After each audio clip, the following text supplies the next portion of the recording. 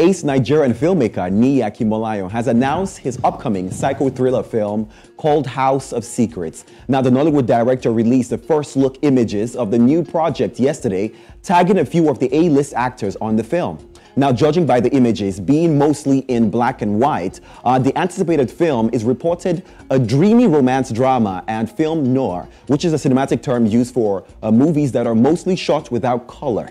Now, the plot details are top secret at the moment, but Akinmolayan and um, Dolapo are reportedly credited as writers. Victoria Akujobi is attached as producer, and uh, Barney Mordi is director of photography. Now, cast would include uh, incredible Kate Henshaw, there's Efe Rele, uh, there's Onajite Dede, there's Anne Icha, uh, Funlola Aofiyebi, amongst others. Now, filming has reportedly kicked off here in Lagos, Nigeria, as part of the partnership between Akinmolayan's Ant Hill Studios and Prime Videos. Now, Nollywood hit films like Prophetess, uh, Day of Destiny, and Elevator Baby have previously enjoyed this exclusive licensing agreement.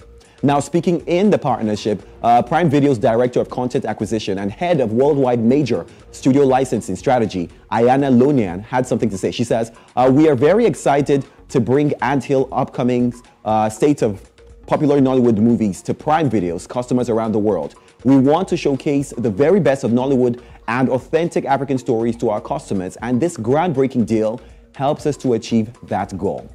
Now, I mean, it's the beauty of collaborations, and also I'm sure it's going to mean the content, uh, the content of the entire film would be a lot more splendid. We do have a shot, so let's watch this one and see what the, the, the teaser is about.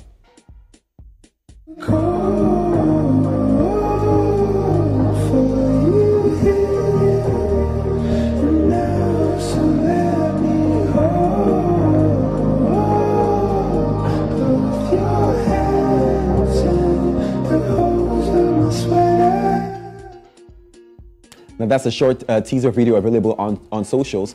Uh, but we're also looking forward to more details coming out soon. right now, in fact, we don't know what the plot is like, uh, but I'm a huge fan of Thriller, so I'm looking forward to that one. Let's move from film now to music, where Jamaican reggae and dancehall artist Rodney Basil Price popularly known as Bounty Killer, has taken a swipe at Afrobeats music genre in a recent interview. The now 50-year-old musician who believes there should be no comparison between dancehall and Afrobeats said Afrobeats has no lyrics.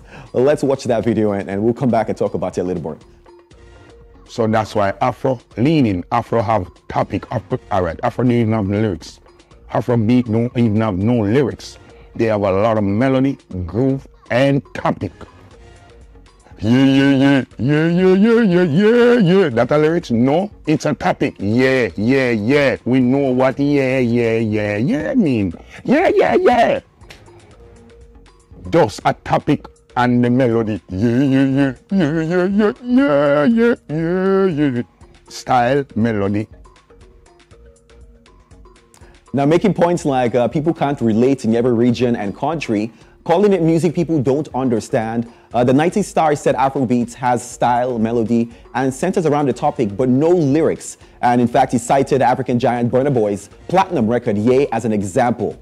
Now, Bounty Killer, considered as one of the best dancehall lyricists of all times, went ahead to talk about the importance of creativity in music and how there's a difference between making music that suits your people and making music for the diaspora. Now, with 13 albums to his name since he kicked off his career in 1994, Bounty Killer has made his mark across the globe, earning a Grammy Award in 2002 and contributing on Hollywood film Blade. Now, I can't wait for us to talk about that one. But before we do that, how about we touch on the last story? On the international scene, American heavyweight rapper and record executive Sean Combs, or popularly known as Diddy, has just joined the list of A-list stars with a reality show.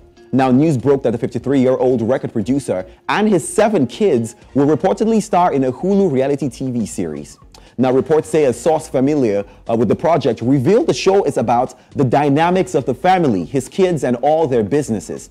Now, Diddy's children have carved out successful careers of their own, especially Christian, aka King Combs, uh, who followed in his father's footsteps as a chart-topping artist. In fact, um, around November last year, Diddy and Cobes uh, set a record, becoming the first father-son duo in history to top Billboard's charts simultaneously.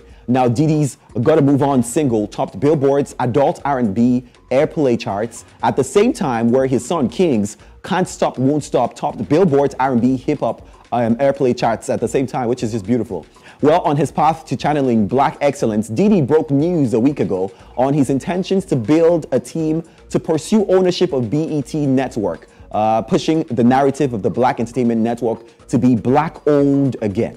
As fans anticipate uh, the upcoming reality show, word on the street is it will tentatively be called Diddy Plus 7 and will hit Hulu sometime in the near future, as currently filming is going on in Los Angeles and Chicago.